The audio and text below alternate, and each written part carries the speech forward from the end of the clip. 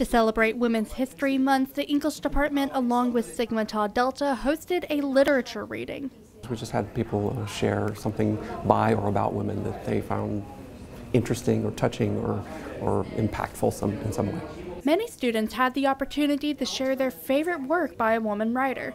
Haley Alcathy says she is glad there were many in attendance. I was pleasantly surprised with the amount of students that came out and then read something. Oftentimes we'll have a lot of students come, but they'll just kind of sit in the background. But there was a lot of students that read something that was important to them, and that was really exciting. Students shared the works of many writers, including Emily Dickinson, Jane Austen, and Maya Angelou. Alcathy shared the poem and author to her book by Anne Bradstreet. This has been a poem that I kind of think about on a weekly basis.